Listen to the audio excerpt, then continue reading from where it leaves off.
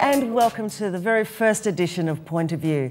I'm Tania Nugent, and on this program, we'll be sharing our thoughts and experiences, celebrating achievements, having a look at what's been going on in the world, and trying to explore some of the issues that matter to women.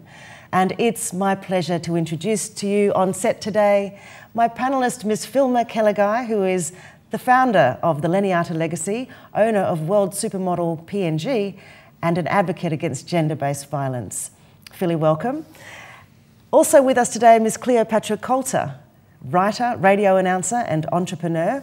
And our very special guest today is Ms. Nona Diya from the Business Coalition for Women. Welcome, Nona. Welcome, ladies.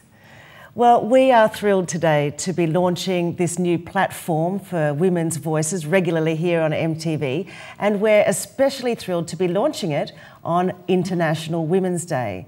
This year, the theme for International Women's Day 2017 is to be bold for change. But before we talk about what we need to be bold to change, let's talk about what we have to celebrate, ladies. And happy International Women's Day, Philly. What do we have to celebrate? Happy International Women's Day, Tania.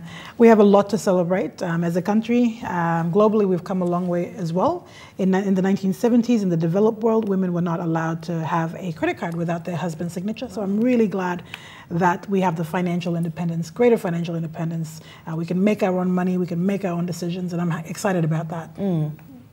Just adding on to that, globally and internationally, I think the self-worth of women, Tania, it's just come a really long way where we have, we're actually realizing our value and actually um, being more empowered to that effect. So that attitude in itself is just enormously great. Mm. Yeah, and also traditional roles have changed.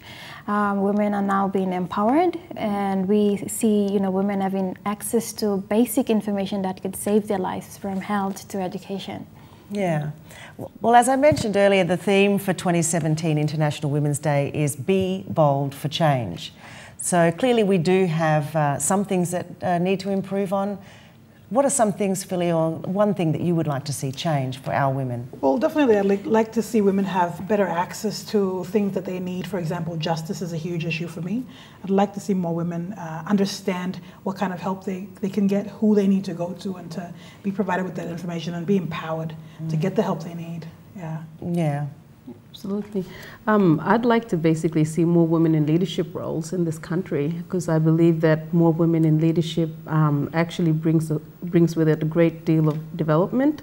Um, I'd like to see the obstacles that actually hinder women um, going into those senior roles actually um, brought down in that we can actually support the women in the private public sector where, wherever it is um, rise in their careers. Yeah, yeah, fantastic. We'll probably talk about that a little bit more later in the program. Claire, what about you? I think one of the greatest challenges for Papua New Guinea especially is um, access to basic health services. Um, The World Health Organization has reported that 3,000 women die annually of cervical cancer alone in PNG and that is you know, a big number to lo lose every year. So I think the, the you know the, the challenge is there that we need to address. Yeah. Well, I, I sort of yeah I, I my thing is justice as well. I think that I would like to see. Um, you know, this it's no secret that you know sometimes I feel like women in our country are quite frankly under attack. You know, and we rarely see justice. Yeah. Um, all of us have been touched by you know, incidents where we feel like we need justice served. And um, yeah, so we do have a lot of a long way to go. We have a lot to celebrate and we have a long way to go. We're going to take a very quick break now, and when we return after the break, we'll be talking about how the status of women in Papua New Guinea has evolved from traditional times to now. We'll be right back.